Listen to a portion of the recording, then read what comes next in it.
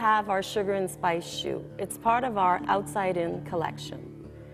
The main design inspiration of the sugar and spice, the environment, our role as shoemakers in the environment.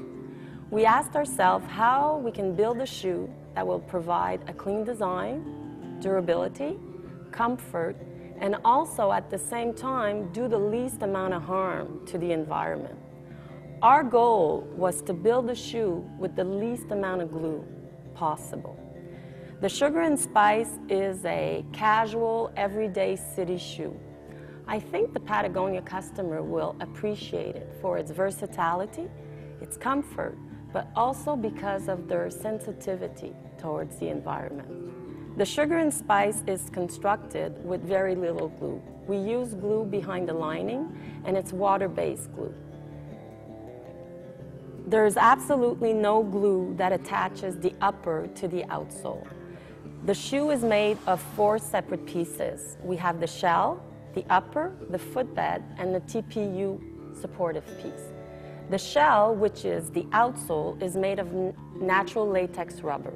And the reason why we went with latex rubber is that, is that it's a natural resource. And also, it, latex is known for its comfort. Then we have the upper. The upper of the sugar and spice is made of very soft leathers.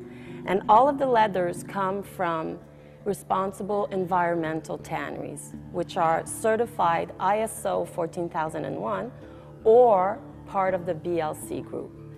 Then we have the footbed. Our footbed is made part EVA, part recycled EVA.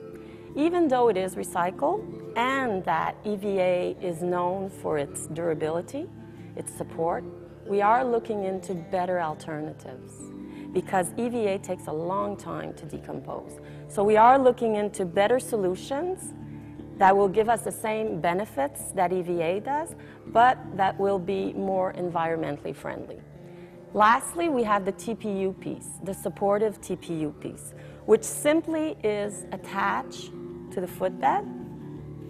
And this is what permits everything to stay in place while walking. So the sugar and spice shoe is very easy to take apart, but then again, very easy to put back together. We simply attach the TPU piece to the footbed.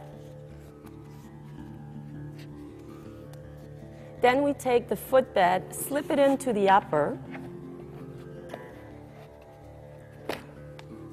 and then take the upper and slip it into the shell.